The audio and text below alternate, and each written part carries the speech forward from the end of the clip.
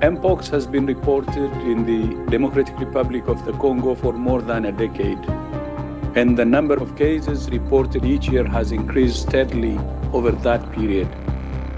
Last year, reported cases increased significantly, and already the number of cases reported so far this year has exceeded last year's total, with more than 14,000 cases and 524 deaths.